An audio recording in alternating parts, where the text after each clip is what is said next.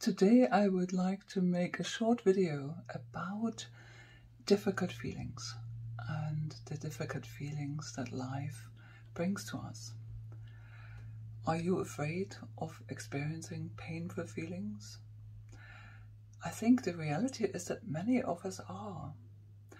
And when I say painful, difficult feelings, what I'm referring to is the feeling of heartbreak, of heartache, of grief, the feelings of loss, loneliness, helplessness. These feelings are actually universal. We all experience these feelings. And I'd almost refer to these feelings as the pains of life, because these feelings um, are kind of evoked by life and life circumstances and also other people who are in our lives. Examples would be losing someone we love, which, which causes us to feel heartbreak, heartache, and grief, or tragedy. Uh, if, if tragedies happen in our, our lives, such as big loss, painful loss. Equally, these painful feelings can be aroused by people in our lives uh, being mean to us or treating us in an unloving way, which can cause heartache, heartbreak, sorrow, worry, loneliness. If someone we want to be close with isn't available to connect with us, that can cause us the feeling of heartbreak and loneliness and disconnect. So these feelings are universal and they are the pains of life, as we sometimes call them. The thing is, we often try to avoid these feelings and we often develop in our childhoods elaborate patterns to not have to experience these feelings, to avoid them. And these patterns can be emotional disconnect from our own emotional inner world, which then later in life can be um, you know, elaborated and consolidated through addictive and avoidant kind of patterns.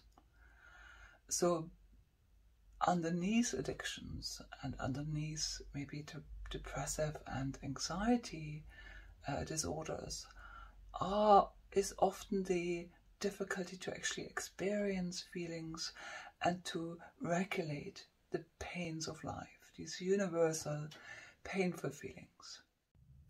And these avoidant and addictive patterns are designed to control the often intense, overwhelming, and painful feelings of life.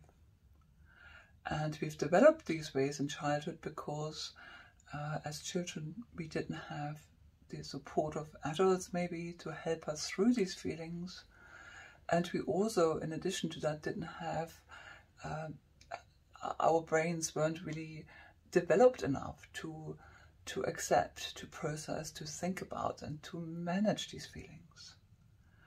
So therefore, we develop these patterns which are adaptive in childhood because they help us to survive in a way.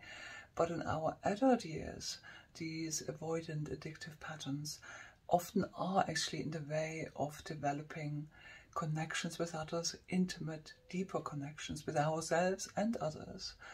And they also then cause secondary problems, you know, such as addictions or depression. And that's often you know, the, these kind of uh, addictive and avoidant patterns are almost like a, a defensive layer uh, uh, to avoid the pains of life